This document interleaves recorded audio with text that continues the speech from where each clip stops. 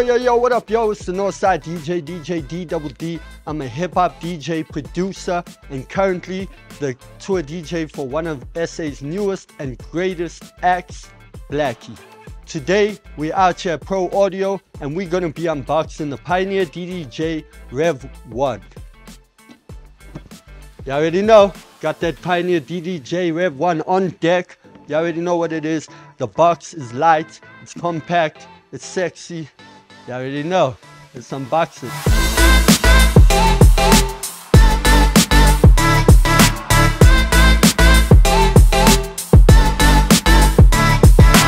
Alright, so now that we've unboxed it, let's take a look what we got inside the box.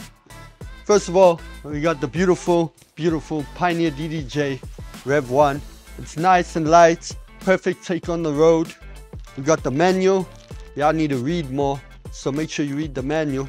And then we got the normal, normal computer cable, like all Pioneer DJ controllers, into a USB, into your computer. So very simple setup, no power cable, no nothing. It's powered by your computer. So anywhere you can rock.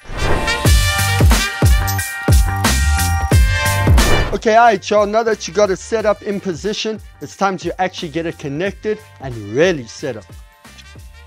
So we're gonna go to the back of the controller. We're gonna take the USB cable, we're gonna plug it in. Just like that, nice and smooth. Now me, you get your RCA cables, for your output, audio output, and you got the master left and right. Make sure red goes to red, white goes to white. I mean like basic. And then neaten it up. And you're ready to rock. First of all, we're gonna go to the jog wheel section. Pioneer have now amazingly put the tempo slider on the top. It's a little bit smaller, but it does the job. It's got the bigger jog wheel because now removing the tempo slider on the side, it's giving more room to give you those fatter jog wheels so you can get those cuts precise.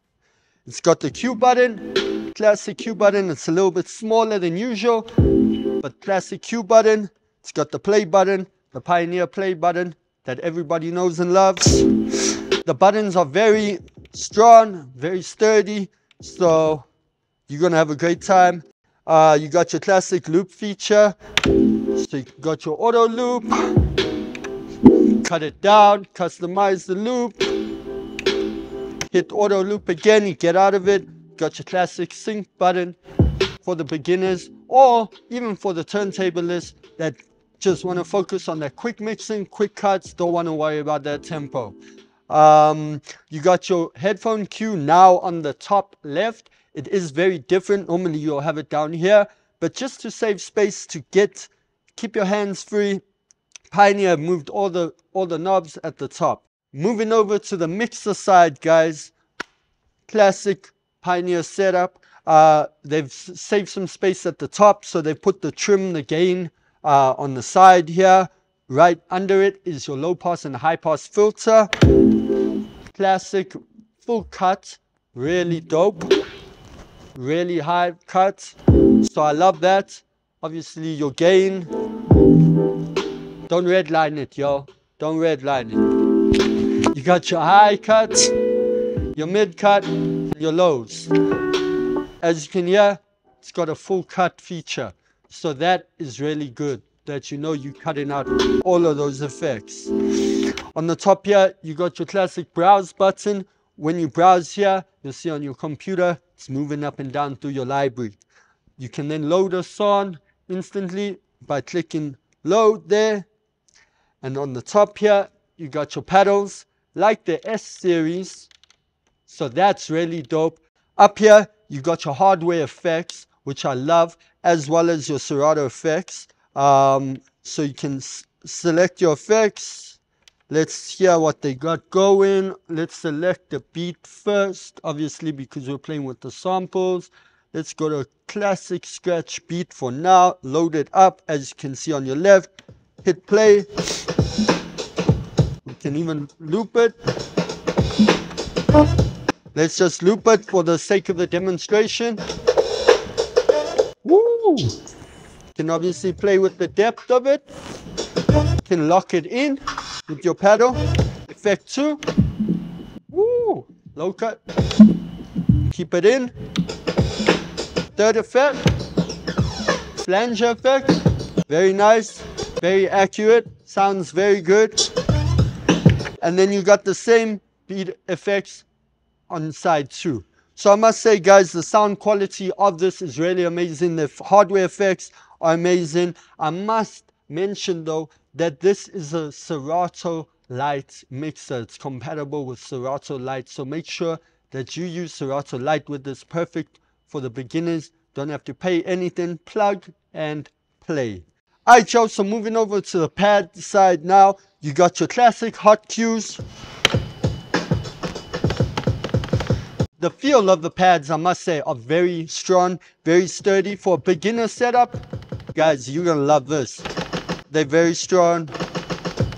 So I feel like even if you get a little bit crazy and a little bit excited, they're gonna be able to withstand your big fingers. Especially myself, you know what I mean? Sometimes I'll be getting a bit too excited. So you got your auto loop feature, in and out.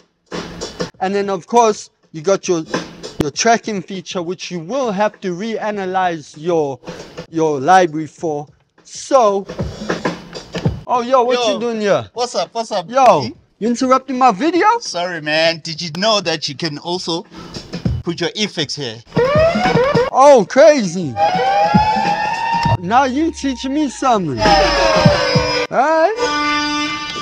Yeah, man. Yeah, man. I see you had to come in and do me like that. I shout out to my bro Snow White. You already know he came in, he showed me what to do. I thought I was teaching you guys something, but now he pulled up on me and he showed me something I didn't know.